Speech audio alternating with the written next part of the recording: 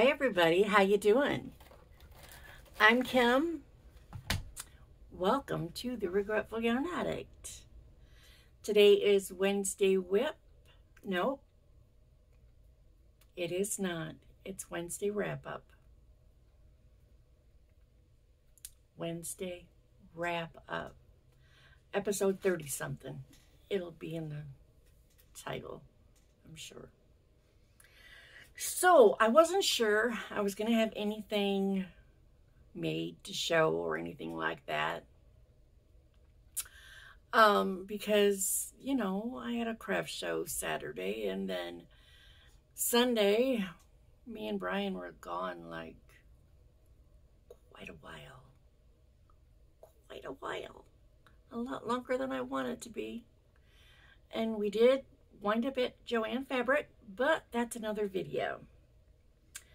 This one, I'm just going to show you a couple things I got done. And, um, yeah. Got something under my desk I want to show you. Okay, so before I get into showing you what I've made, I would like to make this public service announcement. I, uh, I, uh, blah, blah. Did I forget how to talk? That seems weird. Okay, so for those of you who do amigurumi and you use polyfill stuffing, I went ahead and I did a little research on pricing because I felt like I was getting a bargain going to Hobby Lobby and buying mine. But then I know there's other podcasters who like buy theirs probably on Amazon because that's where I looked. And they buy like 10 pound boxes, which is great because it lasts a long time. But like I said, I compared the pricing and I can't remember exactly how much that cost, but it was a lot. You guys, I get mine at Hobby Lobby. 357 for 12 ounces. All right? I know that's less than a pound, but it's 12 ounces. I usually buy three at a time, which would be three pounds, and it comes to nine, ten, uh, figure $11 for three pounds. 10 pounds would be three, six, nine, thirty-three, right around $40 if I was to buy 10 pounds. Of this. And I know that's a lot cheaper than what it is on Amazon. That's all I'm saying. That's all I'm saying on it. It's cheaper to buy it at Hobby Lobby. If you have a Hobby Lobby by you, buy it three bags at a time for 11 bucks and you know, unless you have to drive like long ways to get to Hobby Lobby, then it might be cheaper in the long run to buy it on Amazon. But that's my PSA for today. So what have I been making? Oh, first let's go back to the craft show. It was okay. It was okay. Um, oh, but really, holy crap. It was 90 degrees outside you know, but it was nice. It wasn't like, I'm dying. It was a nice, breezy, comfortable 90 degrees. And I, I say that because the older I get, the more I like it when it's warm out. So for me, it was like very nice. Um, you know, no humidity. It was really nice. However, inside this school where I was in the gym, they put me right directly under the blower. And I think they had the AC set at like 50. and it was blowing directly down on me. The people around me were a little chilly, but everybody who stopped in to look at my stuff was like, "Ooh, it's cold right here. You got that blower." And I'm like, "Yeah." I I had considered wearing shorts and a t-shirt because it was so nice out. And instead, I put on like a pair of capris and a t-shirt. Within within an hour and a half of being inside the building, after I'd set up and just before it opened to the public, I had to text Brian and be like, bring me a sweatshirt. And I had a sweatshirt on the entire time I was there, and I was still cold. It's like, oh my God, it was ridiculous. But I still did okay. So now, now let's get into what have you made, Kim? Are you going to talk? Or are you just, are you going to show me what you got? I'm going to show you what I got. Maybe. I made a couple little ghosties. They still need some kind of a hat. I because I did wind up putting hats on them, and I did sell like I think three of them. Um, I they're all out in the garage because I have another craft show coming up this Sunday. But um, I did post a picture of it on my Instagram, so you can see the ghosties there with the hats. But anyway, I got these two. Then I made some hats on the old knitting machine. I used up the rest of the yarn I had left over from my cardigan, uh, the Ferris wheel cherry on top. And then I had another full one. So I just used it all up. And I got this hat, which is reversible. Pretty much looks the same no matter how you do it just because that's the way the, the yarn came out. So I got that one. That one's for an adult. That one will definitely fit an adult head.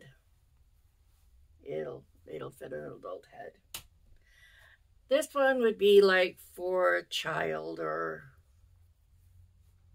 a small person.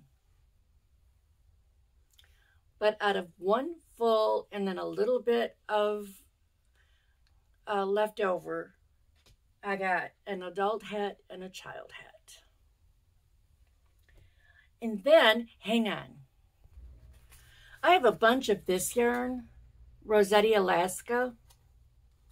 See how, I don't know, can you tell how fuzzy that is? It is 44% acrylic, 26 polyamide, 15% fine merino, wool superwash, and 15% alpaca. And it's all fuzzy and soft and And I wasn't sure how it would go through the knitting machine or even if it would. But I was like, let's just try it. You guys, it worked very well. So if you haven't, this, this kind of yarn, and I've got a bunch of this and merino mist, and they're all like this kind, all fuzzy. Because at one time I thought I was going to make a sweater out of it, and then I decided I didn't want to look like a woolly bear. So I went ahead and I made, I got one hat out of it. Now, the dilemma I had was the other side of this, the wrong side, was all fuzzy. And it was just like, ooh, that is so neat. So I was like, do I want to put the fuzzy side out or do I want to put the knit, knit side out? And I decided I was just going to go with this because the fuzzy will come through. And because this is not reversible, I am going to plop a pom-pom on it. I just haven't done it yet. And I'm definitely putting this little label, this part of it, on with it so that they know what it's made out of and that it need it definitely needs to be hand washed and dried flat. And it's just oh, like so soft. So yeah, I might crank me out a few of these because they are just so pretty. Then, then I found a tutorial for a bat. And who doesn't like bats at Halloween? Mine, however, did not turn out as cute as the one on the tutorial. Now he used chenille yarn, I used blanket yarn. Um, so there's a difference. Mine came out a lot bigger than his. And just, and I, there are so many things about this bat that I'm just not happy with. For starters, I stuffed his neck too much. His eyeballs are too big. His ears are weird, and I don't have his wings on right. So this is my funky bat. The wings should be up like this. The ears should both be pointed. And for some reason, this one didn't want to be pointed. I, I don't like this. I think I made it too big or something. I, well, the eyes are just way too big. And the neck is too stuffed because it should be more like this. The head should be squished down and the wings should be more like this. So this is my bat. I don't know where I'm going to put him, but my bat. He's, um, he wasn't difficult to make, except for you like sewing the head onto the body. And I'll bet you Mm, maybe not. I was going to say I could just make it all one, but the body, he started with the legs and went up, the little feet. But I'll bet I could figure out a way to do this. Just do it the opposite. I'll have to work on that. But I'm going to make some out of just regular four-ply acrylic yarn and see how they turn out.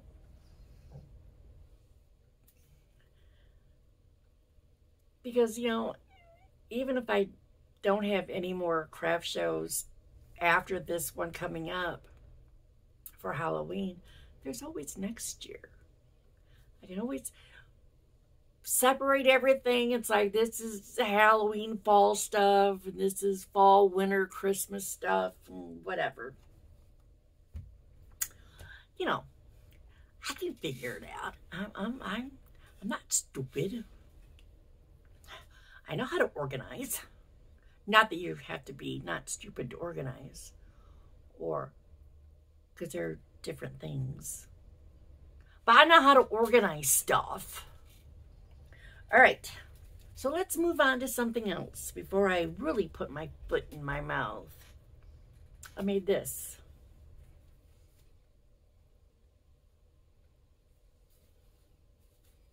Can be anything I want.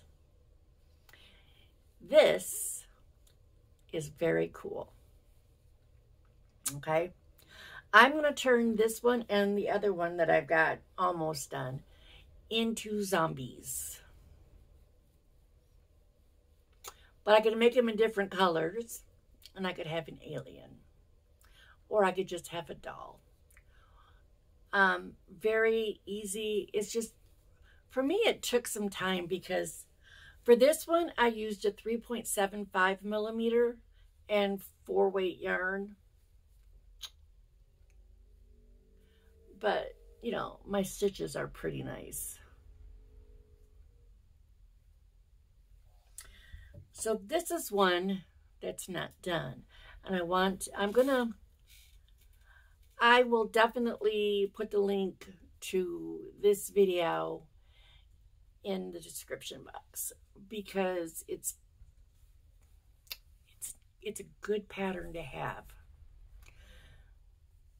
This is all one piece. This one you just crochet on after you've got this one done.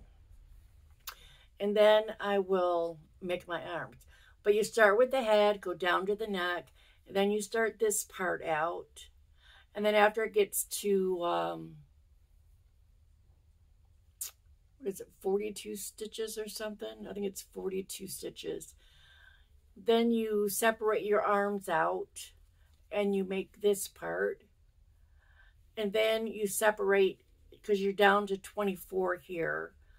And then you split this in half so you have 12 over here and 12 over here. And you just make your leg and then you just close it up at the end. And the same thing with the arms. I'll do, I think it's I don't know, nine rows or something that go down and then you just, no decreases and you just sew it up and pull it tight. So that you have like that. So I'm going to finish this one up. And then, like I said, I'm going to make a couple of zombies. Another thing, another PSA I want to put out there. And I've mentioned this before. And I know a lot of people don't like this yarn. But this is the best yarn. Red Heart Super Saver is the absolutely, absolutely, God, that word got caught in my throat, absolutely best yarn to use for uh, amigurumi if you're using a four-weight yarn. This stuff holds its shape so well. I it just remember I said when I made the gecko when I used it and I said it just held a shape and I just had to put enough stuffing in to like so it didn't squish. But this is the best yarn to use if you're going to do amigurumi using a four weight yarn because it is a good stiff yarn. I love Big Twist, but Big Twist is soft. It's soft which is great for like making sweaters and stuff. But amigurumi, when you're using a four-weight yarn, you want something stiff that will hold its shape. Trust me on this because, you know, I'm an expert. Seriously? Let my experience guide you. And speaking of guide, what do we have?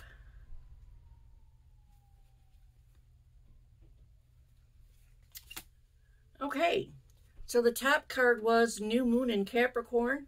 Step up and lead. Have we had that one before? I mean, there's a whole whole deck. It seems like we're always getting the same ones. Step up and lead.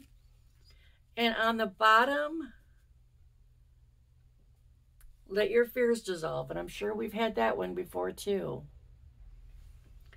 I feel like I should just pull those cards out so we quit getting the same ones. Oh, I like this one. Unleash your kindest self. I like that. We're going to go with that one too. All right, you guys, I'm going to do another video um, that will probably be out, I don't know. We'll worry about it after I make it.